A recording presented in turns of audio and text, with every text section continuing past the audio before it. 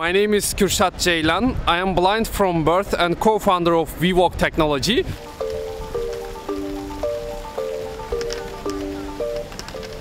As a blind person, while I am walking on the street, WeWalk gives voice feedback to me. For example, uh, while I am walking on the street, it gives information about the restaurants, cafes, uh, stores while I'm passing by. It has uh, obstacle detection sensor here, touchpad, microphone, speaker, and also it has gyroscope, accelerometer, compass in itself to provide more accurate navigation experience.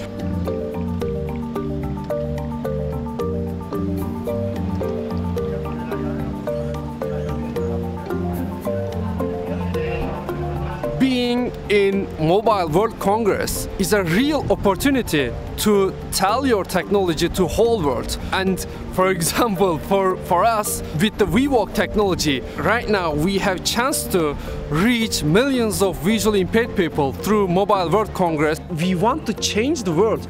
Right now, WeWalk is a life-changing technology but all visually impaired people have to know that and they have to have an opportunity to reach this technology.